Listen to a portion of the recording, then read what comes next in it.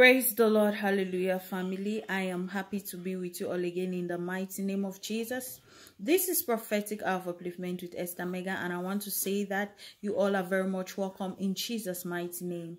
Amen. God bless you, God increase you, and I pray for you that this word do not pass you by please please do not forget to like and subscribe. And thank you all so much.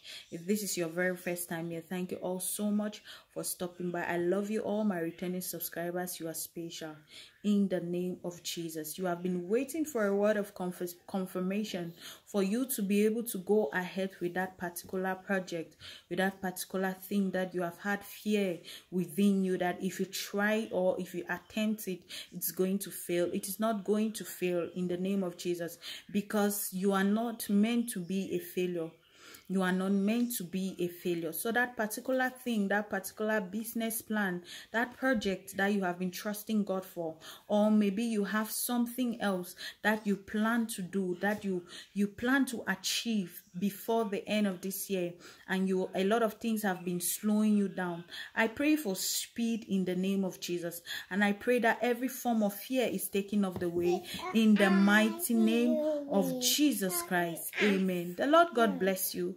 The lord god increase you. Please if you like me to pray with you go to my about and write me and i'll gladly pray with you. God bless you. God increase you. Do not forget to like and subscribe. You all are special. Amen